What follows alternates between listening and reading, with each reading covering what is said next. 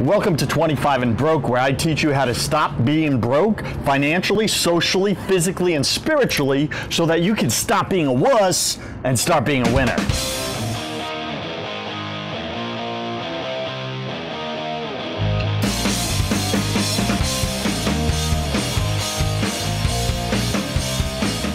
Today we're discussing is a quarter life crisis real?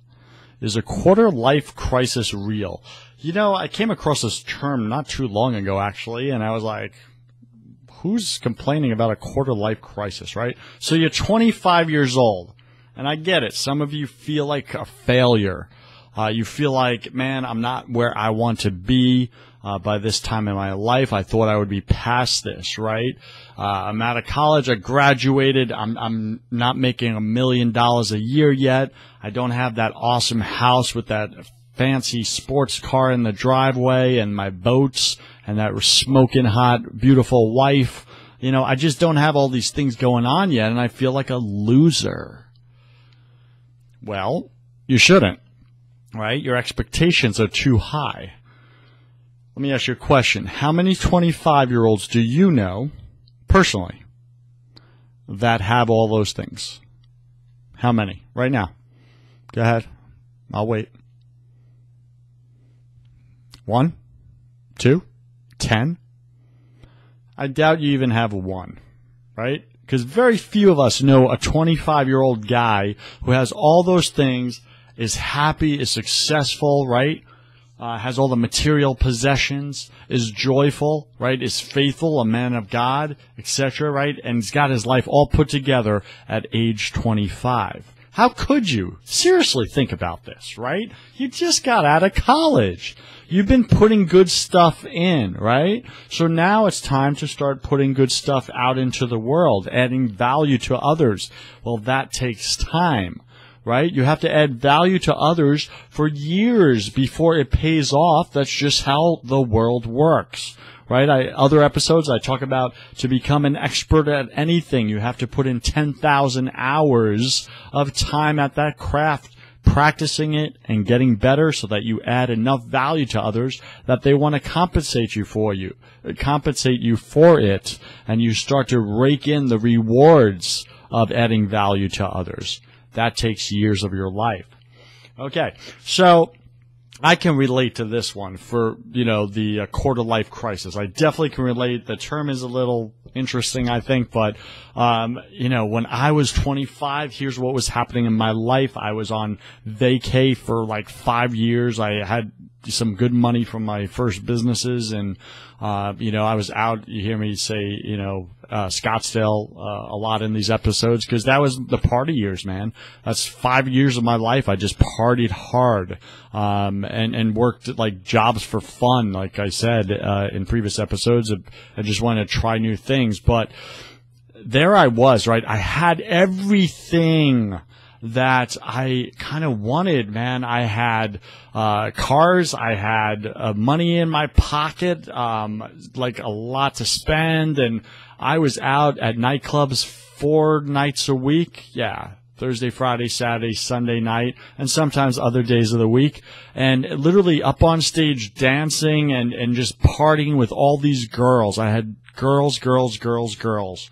Lots of beautiful girls at that time in my life. And you know, I don't say that to, to be brag to brag in any way. I'm just explaining. I had all those things that I thought would bring me happiness and joy, and all those things that you're chasing right now. You are chasing these things, and and what I found was it was in that time of my life when I had what every guy kind of wants and is chasing. That was when I was the loneliest. That was when I was the most insecure that was when I was the most depressed. Down in the dumps, man. Just like, that was when I came the closest to having like thoughts of like suicide and stuff in my life. You know, and, and thank God for my faith, even though I wasn't living it back then. I, I grew up, you know, in, in a Christian home and I had that faith of, of eternity and, you know, I never really, you know, uh, took those thoughts any further than random thoughts of like you know just ending it all. Um, because the pain, like, what's the point of being here, right? On this planet, what am I even meant to do? It's like, why am I here? You know, this sucks. I'm empty. I'm alone. Um, I'm broken, right? And, uh, just not where I wanted to be in life at age 25. Even though I had all the things that the world says makes us happy. Well, society, the media, it's a lie. They lie to us so that we chase it. Because when we chase it, we buy things. And when we buy things, certain individuals get rich. So, you know, these were the lonely times. I remember specifically, I'll go here, I'll get humble and vulnerable with you. Um, because, listen, this is how we learn from each other, right? So let me share this. Uh, it got so bad in Scottsdale at the end of that five year vacation, um, and partying like a rock star. I had nothing, literally nothing. I was stripped of everything, and it was it was really uncanny how it happened because it was like uh, all of a sudden I found myself uh, completely tapped out, all my money spent, everything, empty bank accounts, right, completely to nothing, and then I, uh, uh yeah, my uh, I lost all my friends. Um, they just disowned me. Turns out they weren't really my friends. They were just acquaintances who were kind of using me to hang out and party and live that lifestyle with me. And then I, I lost uh, the place where I lived. Um, my girlfriend, smoking hot model girlfriend, brunette, gorgeous. Um, she uh, dumped me on my birthday, and to wrap this all up, this all happened. All those four things I just mentioned, losing all these different areas of my life, all happened within a two week time frame, a two week period. I don't know why that happened, but it just happened. And I, and there I was, like, in shock. Like, I got no woman. I got no car. I got no money, right? Like that song, you got no money, you got no car, you got no woman, so there you are, right? Well, that's, that was me. I had nothing and I was just broken alone and I'm out in, you know, the, the West Coast with nobody who cares for me. And man, I had some bad, bad, scary thoughts. Let me just say that. And I know you have, uh, you know, some of you guys out there, you have some dark thoughts, man, that makes you just want to quit and give up. And I'm just saying don't, right? And, and here's why is I, I left it all behind. I had to s- sell the, the few things that I had, um, just to get gas money.